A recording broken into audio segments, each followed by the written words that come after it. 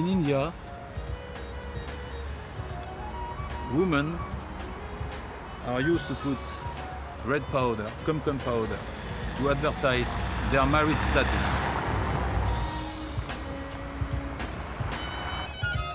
Never try, just do it.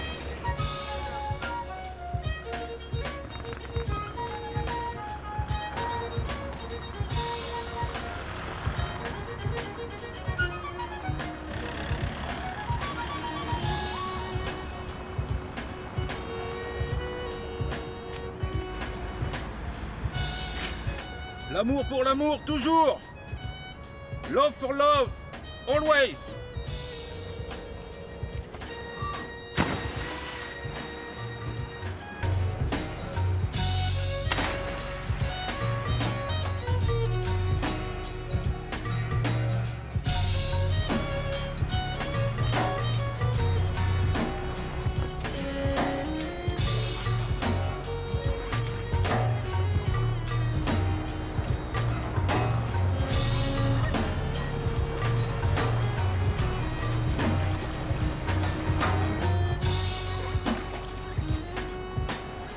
This is east and west happening.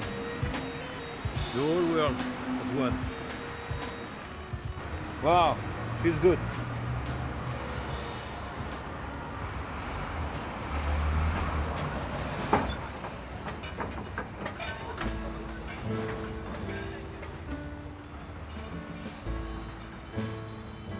My name is Monique van Herksen. I'm the daughter of Irene van Herksen, uh, born and raised in Curaçao, the Antilles.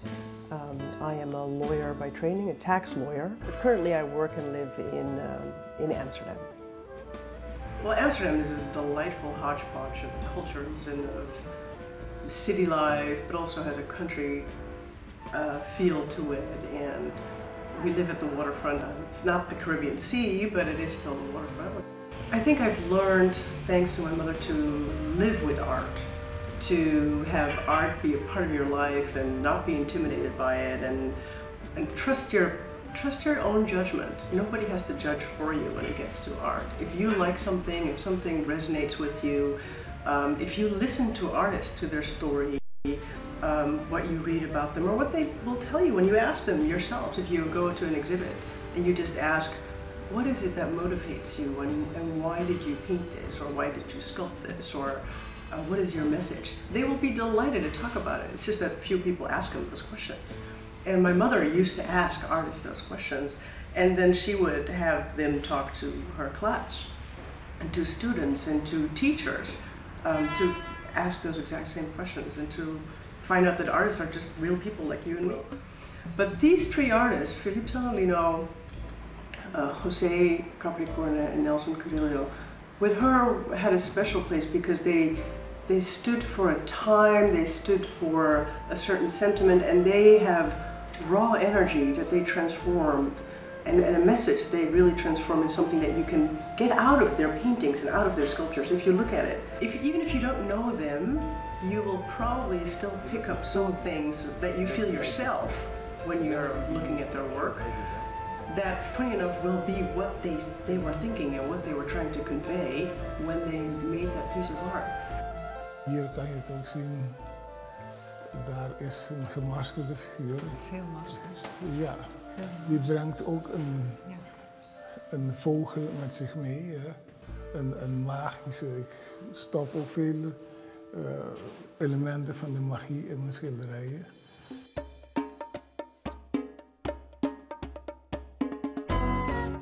Curacao is a Caribbean island nation and former Dutch colony located 70 miles north of the Venezuelan coast and is a part of the Lesser Antilles Island Group, also known as the ABCs, Aruba, Bonaire, and Curacao. Willemstad, the capital, is the economic hub of the region and an international banking center and tax haven.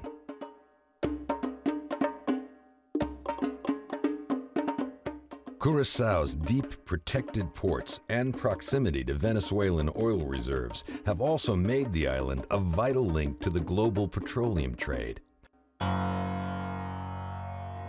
The charm of Curacao today is typically Caribbean, But just below the surface is a long, tortured history based in the transatlantic slave trade of centuries past. Tens of millions of Africans were stolen from their homelands in West and Central Africa and brought by Dutch traders to plantations throughout the Caribbean. The emancipation of the Curacao slave populations began here at the compound of Landhuis Knip in 1795. The slave insurrection was led by one of Curaçao's most revered national heroes, Tula. But it would take another 70 years, not until 1863, for the abolition of slavery in the Antilles to be complete. Despite newly found freedom, the wounds inflicted on the slave populations would prove to be deep and long lasting. Y'all ready for this? During the 60s, economic disparity between blacks and the Dutch colonial powers persisted in Curacao. As the civil rights movement was evolving in the U.S., anti-colonial transformations were simultaneously sweeping the globe, and violent eruptions, such as the one on May 30th, 1969 in Willemstad, were common. I think my, my mother specifically endorsed um, using art as a bridge to overcome the sense of discrimination, to overcome the sense, the feeling of inferiority, with total, totally misplaced inferiority um, that's that's still rampant. Some, you know, somehow. Yeah, clearly, clearly, art can build that bridge. Clearly, there's there was never a doubt about about that in her mind, and there's none in mine. I, same way. I think Antillean art, um, and and it's. I mean, I don't think you can. People have tried to define Antillean art, but there's no such definition at this point. What I like about what we see in the Antillean art is we see that it's definitely getting strong influences from the Americas and from Europe. Art is definitely leaving the traditional African heritage pictures behind and is developing in something totally different. And if you see how powerful um, art is, and if you if you allow yourself to express to express what you can do and make things and get what you think and get it out in, in material or, or on, a, um, on a canvas. Um, that message is, is strong and respected and you, a lot of, yeah, you can redeem yourself that way because of that dialogue, which, which is something that the Antilles really fosters. You know, people, people look at the United States, they look at Latin America, they feel European, and so there's this dialogue, it's all there. Um, and these artists have all these nationalities and all these aspects in their art. And as long as we all continue to talk with each other, and as long as, you know, and it doesn't matter what religion or what culture or whatever, just talk and look and enjoy the same things. To be able to express something beautiful is also an achievement. So whenever I made this sculpture for Curacao, I'm glad, but then I continue. It's like um, there is some stream of energy that tells me don't stop. I think that art is a living piece. Uh, in a painting or in a sculpture, there is a kind of vibration and a kind of magic. Not magic in that way, but it's a, a, a living thing. It's a research of life. What I now put in. A, in my work. Love is my master. Love is the one doing the work. And I, as a very limited person, love to serve love. It's uh, August 10th of 2007 and uh, Jose just told me that Today it's the 80th birthday of Elis Juliana in Curacao. Brothers and sisters writers, I'm very happy to be here am among you and I'm thankful to this organization for the opportunity to represent the poetry of my country. My name is Elis Juliana. I am from Curacao, one of the six islands of the Netherlands Antilles. Our native language on Aruba, Curacao and Bonaire is Papiamento. But what we do when we speak Papiamento is to set the sounds to a musical cadence, thus creating Papiamento's typical rhythm. In fact, rhythm dominates so much that at times the meaning of words is not important. For instance, our poems that can be compared with drum beats. we all know about the talking drums of Africa. Canta cuero caliente, canta, canta cuero caliente, canta, cuero canta, Eva Milanta, Pamilanta, Eva Milanta, canta cuero caliente, canta, cuero no punta pa' aquí, Michelanta, Michelanta, Michelanta. And I love very much his drawings because he always has in his drawings something like the slave is camouflage and uh, shows himself differently to the world. So um, there we are already in Curacao, and that's why we are sitting here because uh, everybody has something to do with Curacao. And what I wanted to ask you, and I wanted to start with Nelson, is um, did you know Philip or did you know uh, uh, Jose already before today? Yes. Yeah. Yes, I think I met Jose 15 years ago. I don't know, or 10 years ago. We had a, we had an exhibition together, someplace he invited me for an exhibition. And um, You don't know me. San Marino, I met when I had my first exhibition in um, Curacao. And we met each other at Gallery 86 on the stairs, and, and, and it, it, it matched. Yeah, we had a good time together. Nelson has an elegance to him and to his work, but he's got this strong pride in his work. You can, you know, you, he, any inferiority you would possibly have from a cultural perspective, his pride will just say like, no, you know, be proud, you know, look at your posture, look at your heritage, look at what you're delivering and bringing. Um, very powerful, powerful, elegant artist, definitely. Hello, come on in, just have a look. Nelson Carilho was born in Curacao and emigrated to Holland as a boy in the 60s. His struggle for identity growing up in all white schools forms the foundation of his work as a sculptor today. He is committed to his African heritage, Antillean sensibilities, and the multiculturalism of Holland today. This is my studio. This is uh, the place. This is my church. This is uh, what's everything, where everything is happening.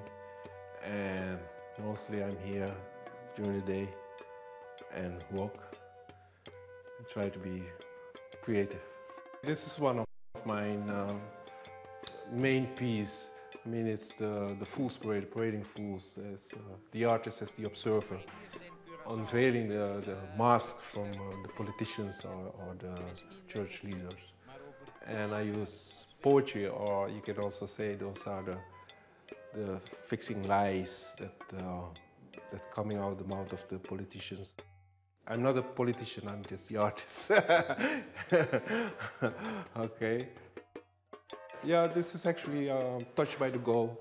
It's uh, it's an archer that aim. It's not aiming at the at the boost target, but it's aiming at a higher goal. So actually, what they say is the the, the, the, the road to the to the goal is more important than the goal itself. So that's actually the, the theme and the symbolism of, of the Olympic Games is also the symbolism that I like to express in this uh, sculpture.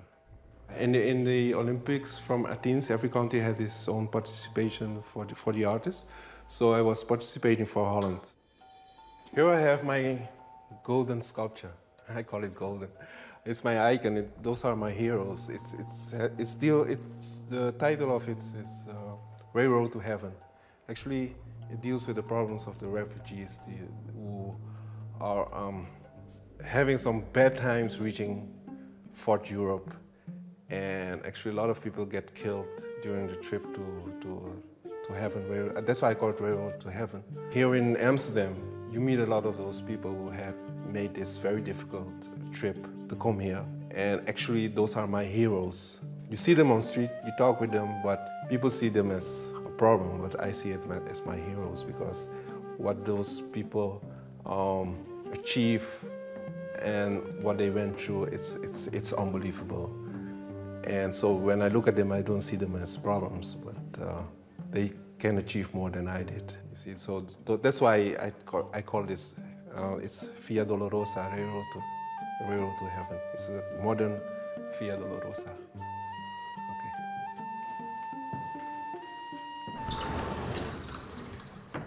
This is my workshop. This is where I do the walking. This is where I do the welding. This is where I do the hammering. This is where I do all the craftsmanship. And this is one piece. I call it Waiting for God. And if you sit down and you can read this, I never promise you a rose garden. This piece is about fatalism. It's about fear, creating fear by fear itself.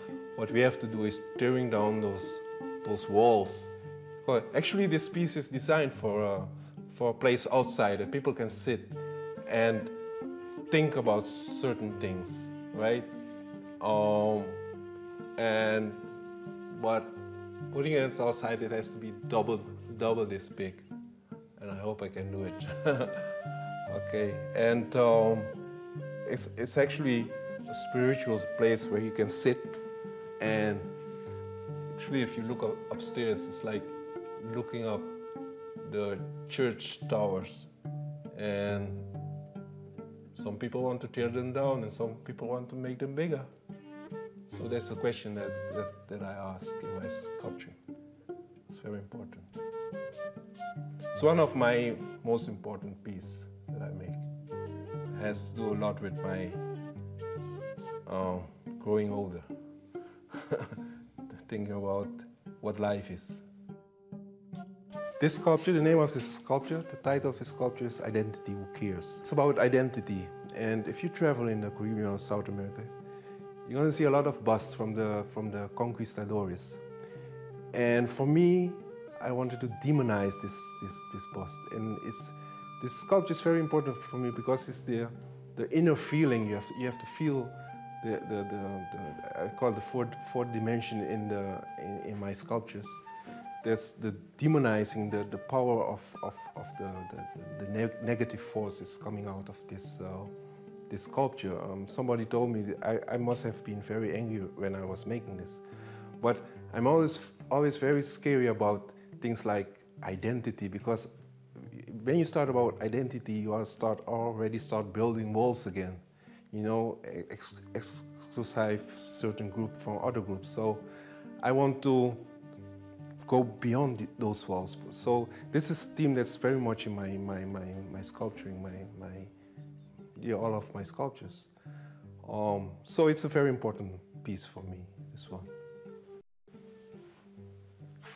This piece on the wall is, uh, I call it me, myself, and I. It's about myself. Whenever I don't have inspirations, I make some small pieces and sometimes bigger pieces for my, I, I, I call it from my unconsciousness. You see a lot of screaming in it, screaming, it's screaming from inside. Um, it has a lot to do with my youth. There's so many things I want to say, but I couldn't say because I'm not a talker. I'm, you know, I, I want to be creative. It's not for exhibitions or something, it's just for, my, for myself. So whenever I make it, I put it on the wall, it's okay. I, I, I gave it a place so I can continue with uh, other teams or other titles in my work. It reminds me where I came from and it also reminds me what I missed because I came so young here in, in, in, Holland. I was very glad when I arrived in Holland. I'm very glad I had, I had everything I got here in Holland. But it's also, everything has its opposite, right? So um, whatever I achieve here, I didn't, you know, achieve in Curacao. Part of me that that stayed in Curacao and didn't de develop. And this part, when I came here, did develop itself, but I miss, I miss this part. And sometimes it's colli colliding myself. So, and the scream, then it's coming out, and then I make some small pieces and I put it here. The energy you, you put in your sculpture, people will sense it, they feel it. So that's why it has this fourth dimension. you understand what I mean? Did you know? Uh... And Jose, actually, that is the first artist that was mentioned when I arrived in Curacao, and that was 21 years ago. Yes. So. And why was it mentioned in what Why in a very, very good uh, manner, because uh, I was told about the artist Jose Capricorne that actually was uh, giving his work, when selling his work, giving the money to charity. That's how I heard of you. So that yeah. because he had another work, he was involved with politics. And so, well, that was impressive to me. Mm. Yes. Yes, And well. bon, he's now that I know a little better. You know, he's like a Curacao godfather. Yes. For, yes. Yes, yes. Jose is like the most modest person you'll you'll ever run into. I think he um, he's soft spoken and and he he's very thoughtful. He's almost saying more to his canvas than he will say in person. You know, it'll it'll it'll take a long time before you pull it, you pry it out of him. But his his influence is from Europe and from from Brazil and and the Antilles. He definitely knows the Antilles the way it was. We, we call it uh, the Curacao Antillaya, you know, of way back when. And he, he definitely has that in his pictures, which is why we're also sentimental about his work. Jose Maria Capricorne is one of the Antilles' best known painters. His work hangs in galleries throughout Europe and the Caribbean. Although he lives in Holland today, he is a global traveler. Born and raised in Curacao, his soul is never far from his island homeland, its hope and future. I am a artist. I am a painter. Um, I started uh, as um, a ceramic decorator uh, in the 50s. I started as a boy from 15. I worked in a studio who makes ceramics. Uh, that was in Curacao. For me, um, Curacao was a little paradise when I was a boy. A little paradise, but the um, essential problem was there was not enough work. So I have had to leave Curacao. The social problems that I saw, as well in Curacao, in Brazil, and here, I put them also in my work. Uh, but not only that, I saw, of course, in, in Brazil, I saw a very um, problematic things uh, as social problems, children who are dying on the street, very poor people, very, very poor people. Uh, I have the experience because uh, I worked for many years in this uh, field. I spoke with uh, many artists, Curacao artists, uh, also with Carilho and Zanolino about uh, our work, our situation. But now we are together to speak in extension about our work as artists. Uh, and in the years, they, they both grow up to big artist, great artist uh, from the Antilles. Yeah.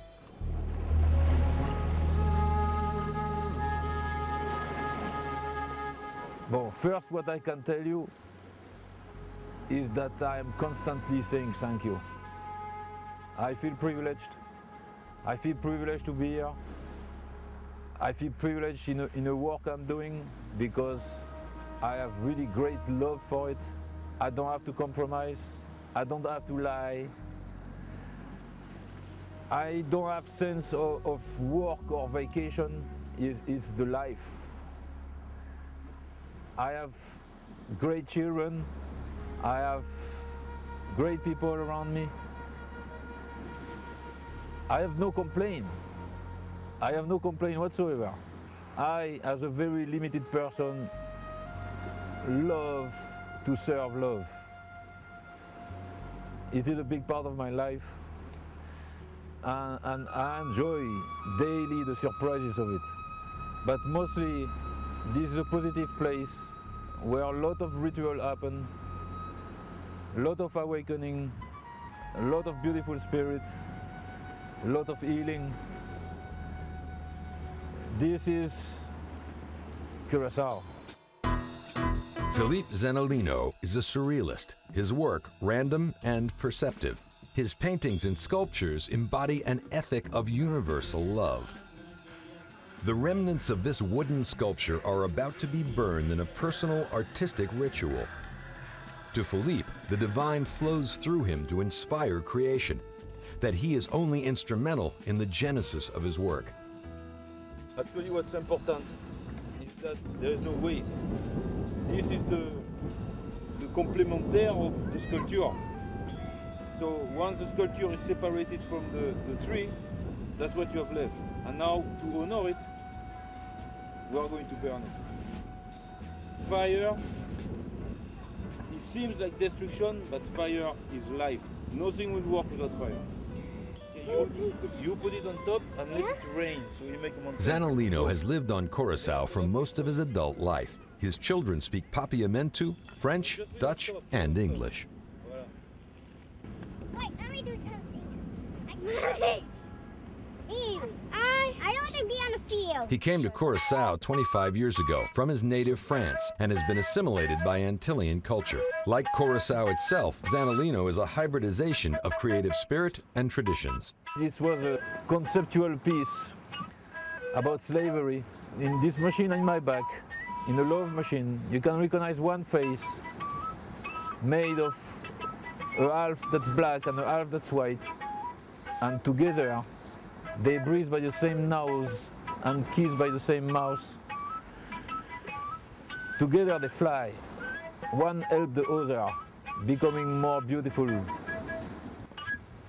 Reality has no color. Reality has no gender.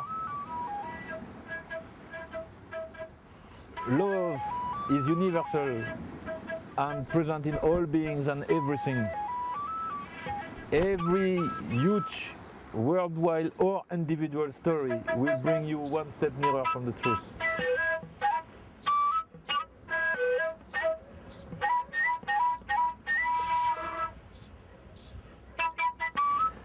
There has been a lot of sacrifices involved in the short-term history of Curacao.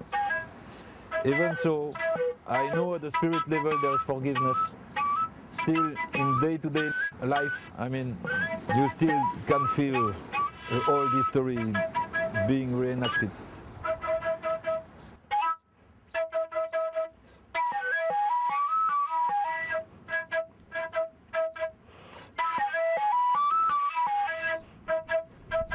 I'm right now in Curacao, um, let's say by uh, Philip's house. And we, we just take a take tonight because Philip's is al- also one of the person that really believe in this music. Uh, right now I'm gonna do, I'm gonna play some real spiritual song. You can uh, you have also the chance to enjoy the European influence in those times, you know, from the beginning till how the music is uh, become till now. I just want to invite you to sit down, relax, and enjoy this bint. It's just the Bintaman with you. And um, of course, my name is Russell Soriano. Okay, this is real spiritual message. Take it from your heart.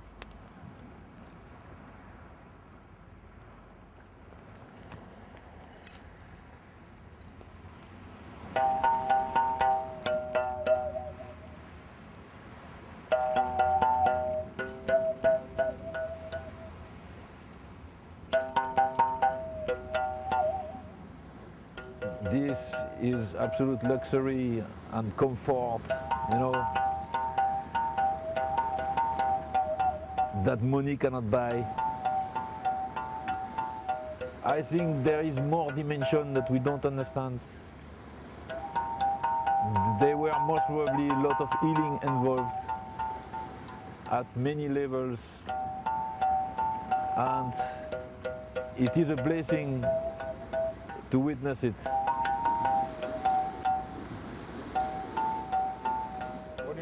Russell's music, what was go, what was it doing to you? Well, first, uh, this is intellectual. I think, wow, man, it is good to be human. You know, wow, we can do that. If I would be God, I would be proud of this man.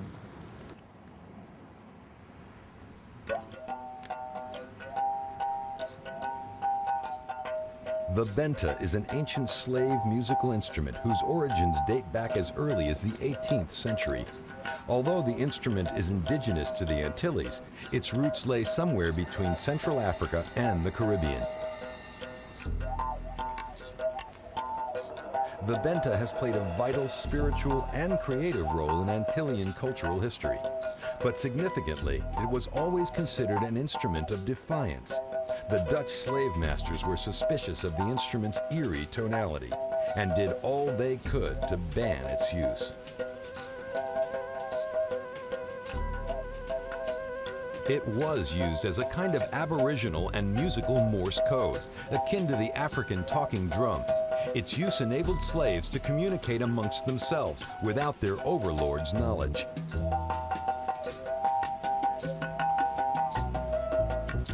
Although few know how to play it today, the benta remains a powerful symbol of Antillean emancipation and national pride.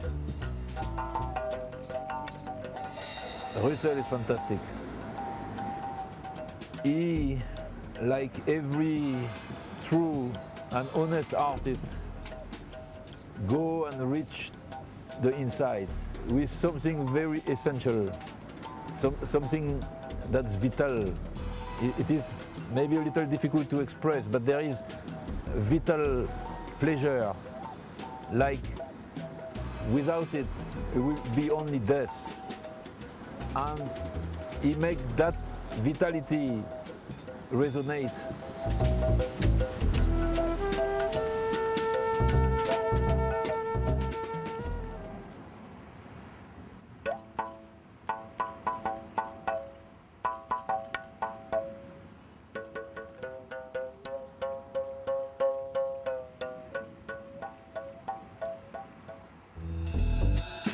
Believe to become rich, there are Yeah. two steps necessary.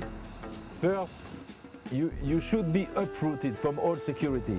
So it is, it is really a gift if you can move out of your culture, out of your language, out of your security. And as well, if you find yourself with a complete different set of rules, then the, the, the co- apparent confrontation will make you a rich man. So it is good if you are from Curacao to go 10 years in Europe, for example, and if you are European, go live 10 years in Curacao. Yes.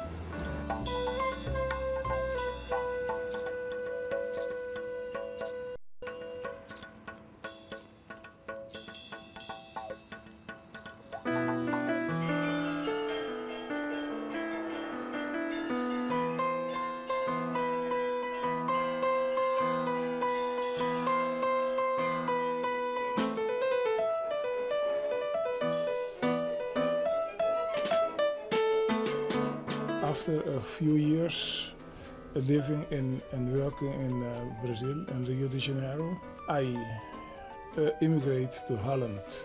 I came in March 53. I lived near the Vondelpark and uh, every day I went to the Vondelpark, walking the Vondelpark and uh, it was for me a total other world. Uh, Europe was in that time Amsterdam was not like it's now. Was an old-fashioned uh, city. Yeah? Uh, you will see it back in my paintings, in my first uh, painting. Uh, this is uh, uh, for me a very important uh, painting because it's it is the my arrival in Holland, and this tree represent the Vondelpark. And in March, when I came here, it was very dark and rainy. And this is the sym- symbol of the rainy uh, uh, atmosphere in Holland. But here uh, you will see the birds and all those, the nature in the Vondelpark. And in, in Holland, on the other side, uh, uh, the green parts represent the green um, landscape in Holland. And uh, in Amsterdam, I went to uh, the school school for painting, eh, for painting and decorations. After I finished that courses, I went to the school for graphic arts. 68, I was married and we went back to Curacao.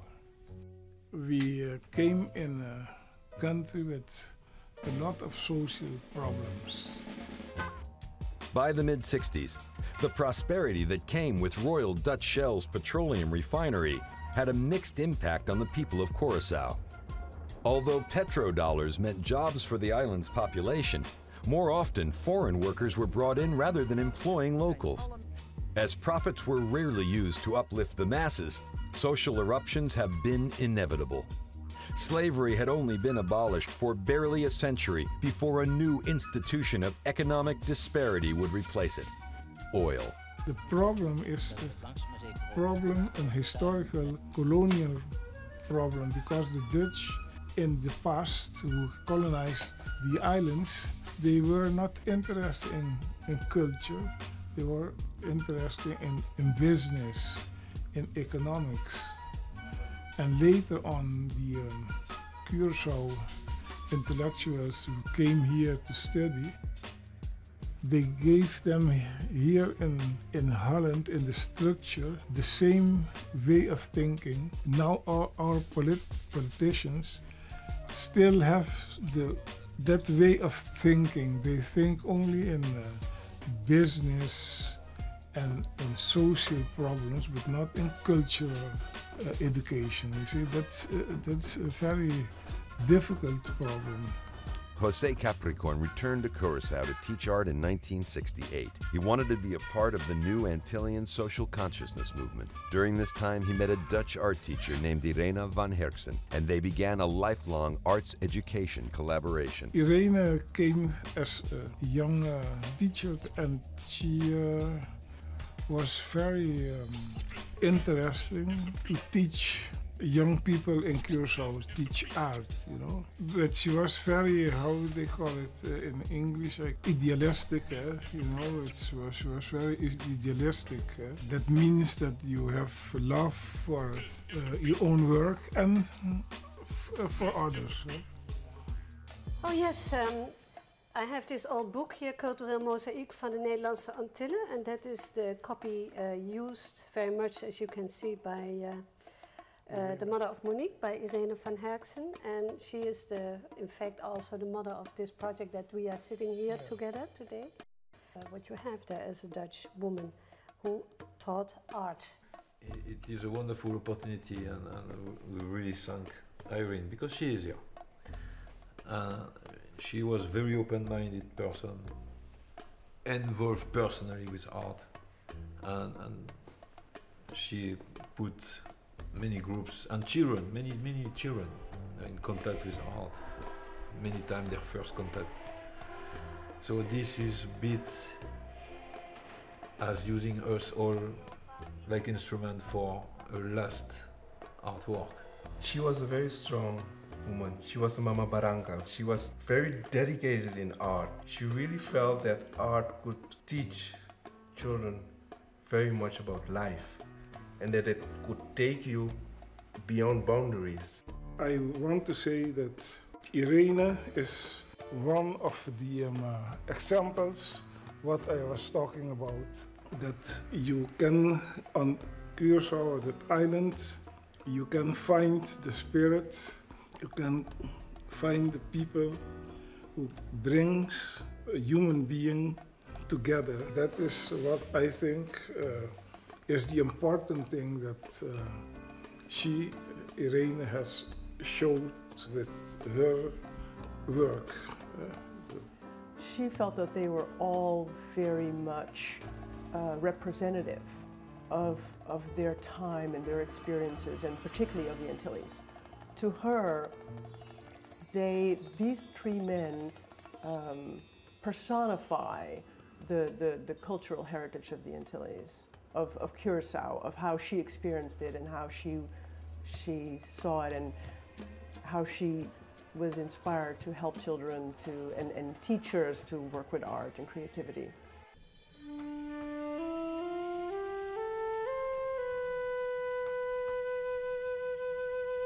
This is an etch.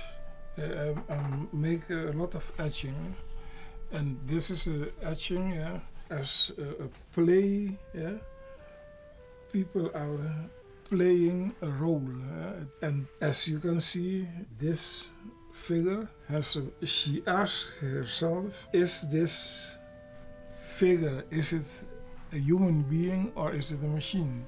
Yeah. Uh, this is abstract work and I started to uh, make this kind of abstract uh, works when our son died. eh.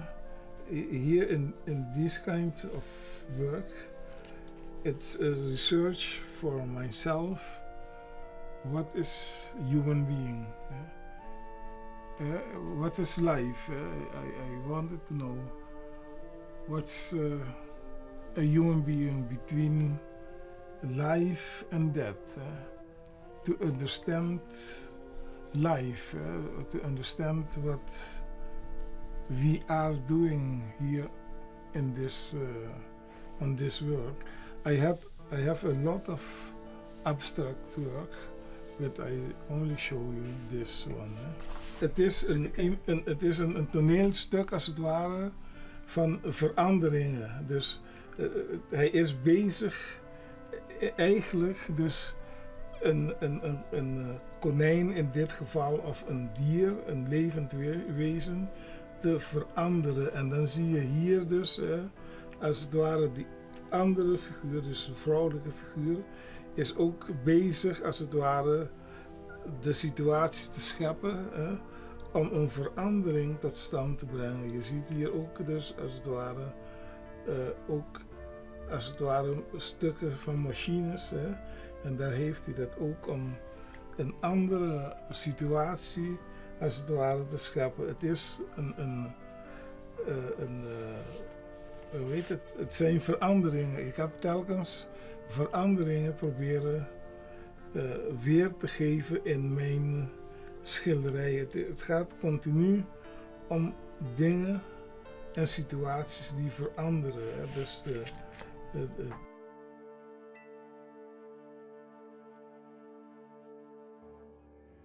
My mother found it very important to reach out to people who had a message but maybe weren't communicating that message in a way audible to all.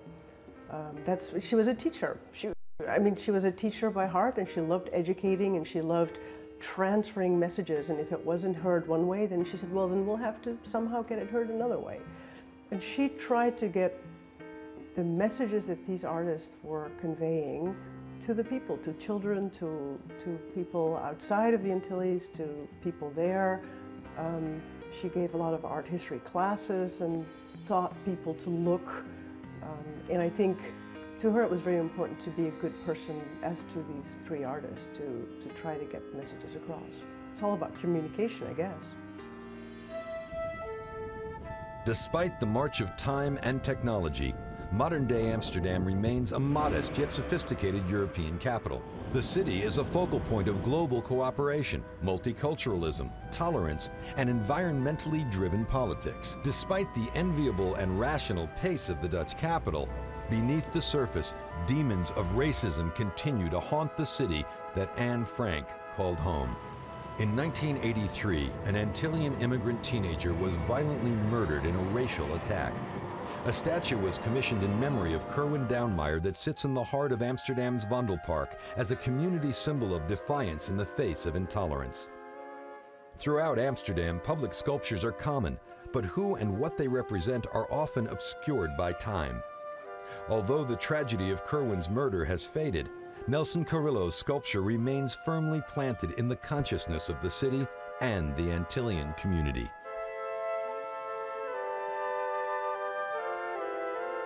Here we are in, uh, in het Vondelpark in Amsterdam. And right now we're seeing the Mama Baranka.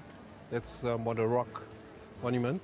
The universal theme is uh, Mother Earth, but in Curacao, because Curacao is a rock island, we call it Mother Rock. It's also the goddess, Mother Rock is the main goddess in uh, Afro um, heritage, um, what the slave uh, took to the Caribbean. Kevin Duinmeijer was killed in 1983 and this monument was placed here in the Vondelpark in 1984. This is uh, a commemoration from uh, Kevin Duinmeijer, but it's also against uh, racial killings and it's also uh, a symbol uh, for the future of Amsterdam, what is more and more a multi-ethnic uh, community.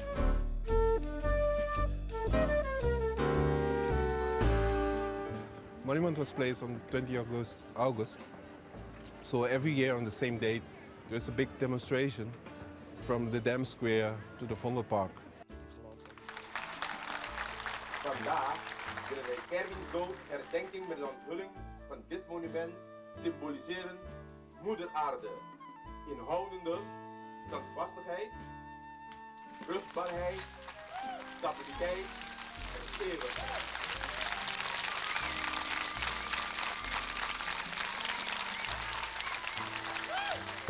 My first sculpture that I made, the first monument I made was uh, Mama Barranca. So I felt that Curacao didn't belong in Holland because they, they didn't know anything from my country here. So I said, the only thing I can do is plant Curacao here So in the the Park. In the Vondelpark. In the Vondelpark. So it's not, he doesn't, she doesn't has any feet. She's just like poof, Yeah.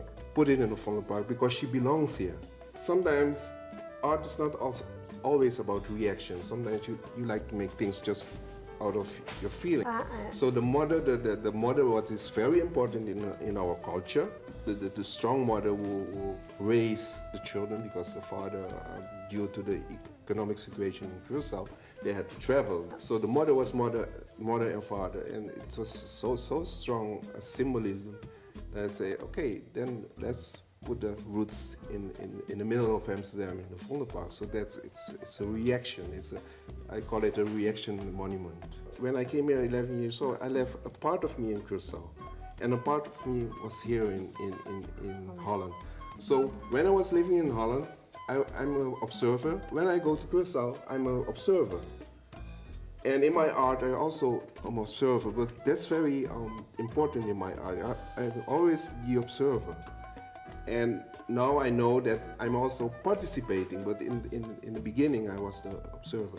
And when I met him, I feel the same. He was from French and, and, and he was in Curacao, and he, has a, he had a, this dedication for art.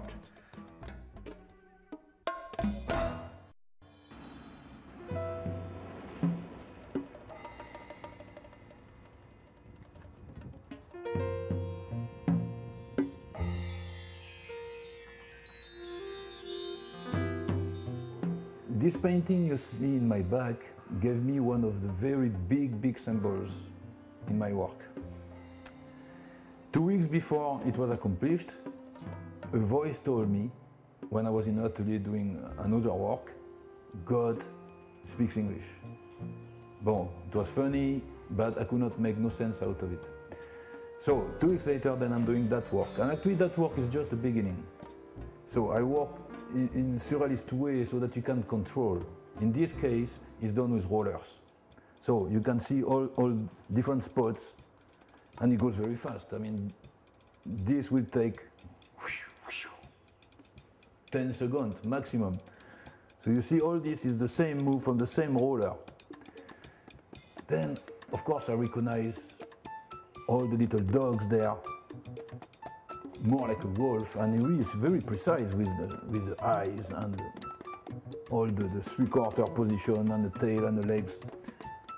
If you don't have faith, you will never believe these come from nowhere. Then I say, oh, oh, I cannot touch that painting no more. Even so, it's just the beginning.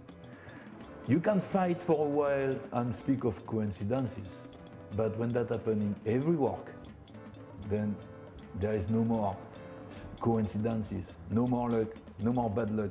Just it comes, it is, as simple as that. And art shows it. It's not only my work, not only me. Actually, I can show it in all the, the, the artists that did not imitate. All the one that went to get these things out of them, then with that purity, then the universe will use you for its own work. And then it shows.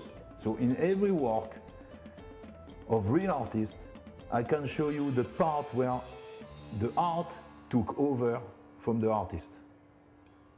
Now this is a perfect example. The art took over from the artist.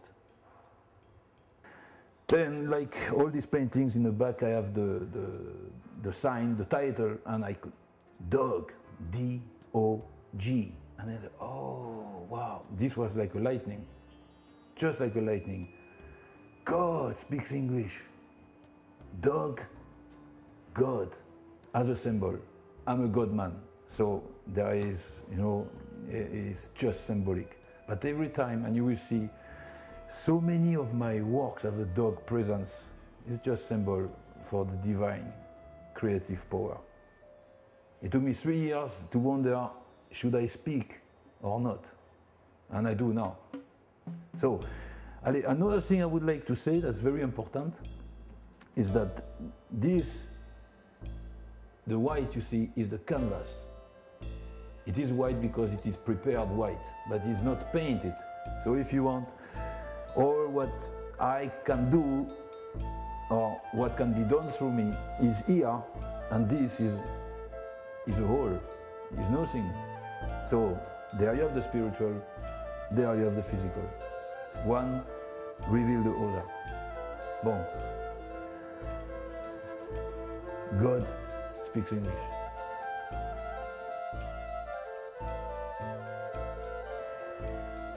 There is a, a, a, great teaching as well, a practical teaching in that work, is that you will not be able to see anything unless you frame it. For, it's very important. For example, imagine a pure blue sky.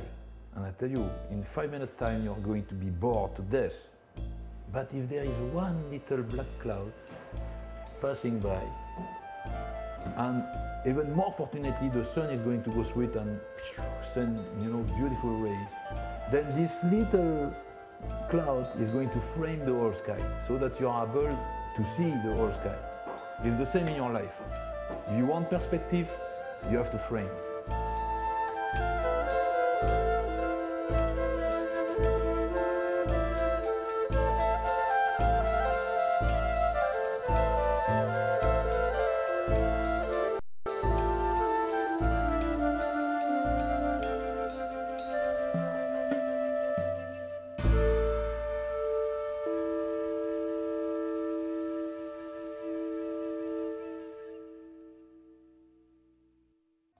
You want to express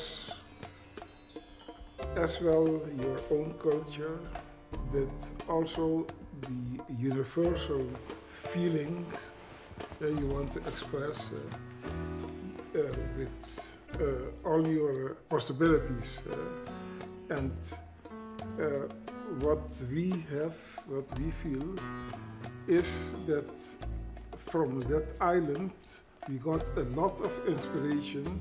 Why? Because it's an island, uh, a concentration of several um, cultures, uh, Dutch culture, uh, Arab culture, culture from Asia, uh, culture from Africa.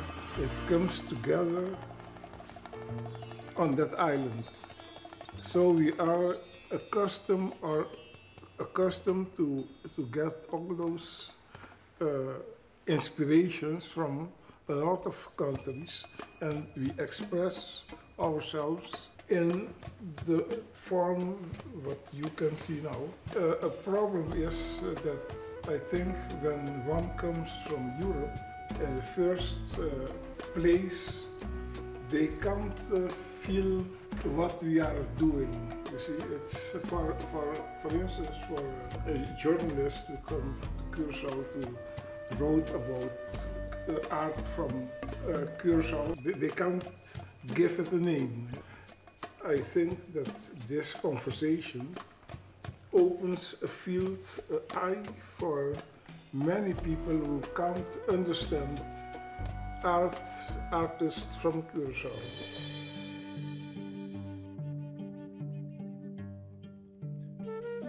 The title of this monument is uh, Jaleu.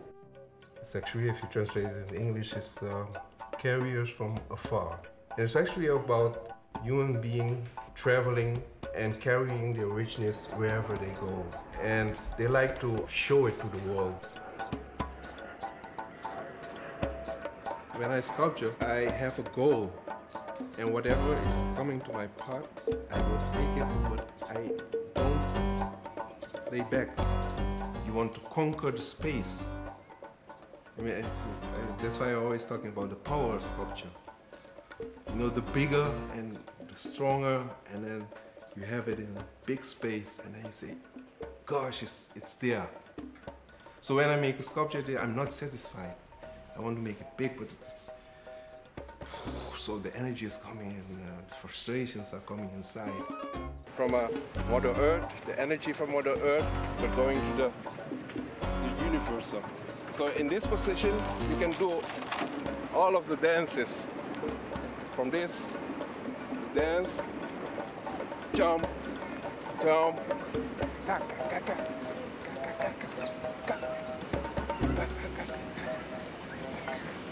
ka, ka, ka, ka, ka, ka, ka, jump. And it's very, very strong. In uh, African dance, there's a lot of inner space. It's, it's a lot about going inside. And in European dance, it's a lot about going outside. You understand? So you actually you see in the sculpture art, the, the, they put the sculpture on pedestals. It has to go up. It has to go outside. It's the same as classical dance. But in the African art, it's about Mother Earth. So it's inside. It's the feeling inside. It's the ancestors. It's the spiritual inside. So by mixing those two, um, very powerful spirit. It's. I think it brings for me uh, uh, a different kind of uh, expression. It's a general thing too of the Caribbean to look for the roots. Of course, because there is there has been a forced displacement. So everybody wants to know, but where do I come from? In this case, so already travelers don't have attachment. This is serious positive value. And the load they have on their head is just the minimal things to go that you still remember a little. Because when you don't remember at all, then you lose it all. But you don't need too much, just enough.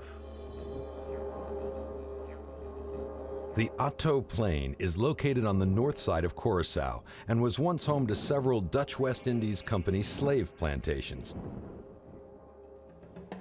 It's an austere and striking desert landscape. The rare beauty and isolation of the plateau is energized by its full exposure to the Caribbean Sea and the southern fringes of the region's hurricane belt. Sea caves plunge deep into the basalt rock of the island. The Hato Caves were originally inhabited by Arawak Indians, the indigenous tribe of the Antilles. of the beauty of Curacao is that in very short time you can find yourself in the middle of nowhere. Actually, my master has a kind of a joke about nowhere. I say it is not nowhere, it is now, here. Now we are in the middle of the Hato Flats, and especially in this power center. Don't forget Curacao is a very, very strong spiritual place. Then I have two brothers, Yubi and Tirzo, that make the installation that you will witness around. In subsequent eras, the caves also served as a practical refuge for slaves who escaped from the landhouse plantations. To this day, Hato is also the site where voodoo rituals continue. Look, it is very simple. The creator loves to create. So you see, when you do a, a painting or a sculpture, it's a very small thing. Nevertheless, the quality of creation in it is the same as creating an entire universe. So every time there is an artwork created, the, the quality of creation is as intense. Don't forget that when you don't imitate, then there is something that did not exist. There is something a little new. Now we are going to to visit a place where you will actually see and hear curacao breathing. We are reaching that in five minutes.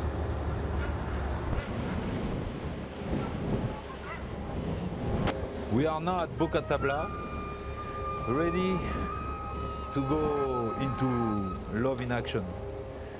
This could appear like a conflict, but the land and the sea will be eternal lovers. Let's go for it.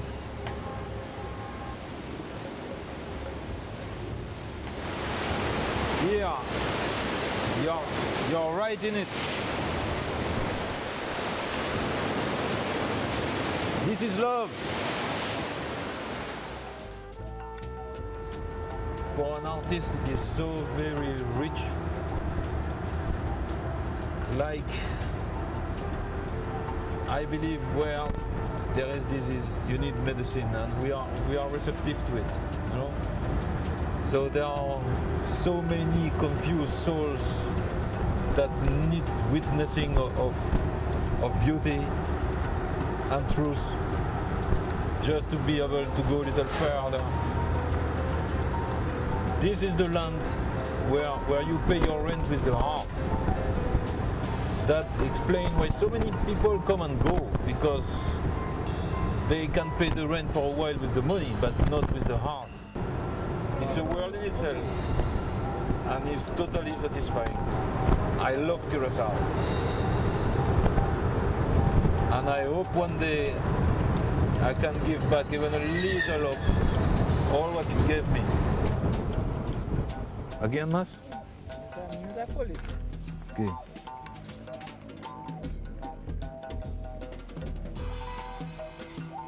We are free. We are free.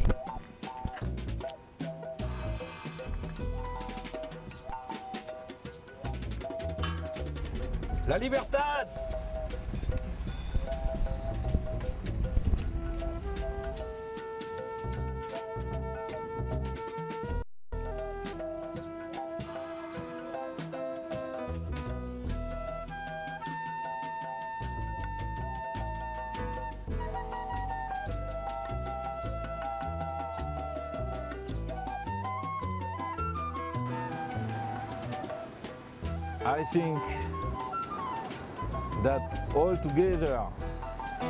Have a beautiful story. Yes, that there is a unity with the three of us. Now I think they are gentle people. They are not working for provocation. They are working with hope. They are working for the positive. They have become wise enough to find the positive no matter what. I think this is a very strong common point for the three of us. I love you, Nelson. I love you, José. In French, you have this, this uh, sentence that says se jeter à l'eau, which means to throw oneself in the water. And that shows your determination toward which direction really you want to go. When you jump in the water, you are saying, there I am going. And because love went in the water, I go in the water. L'amour pour l'amour, toujours. Love for love, always.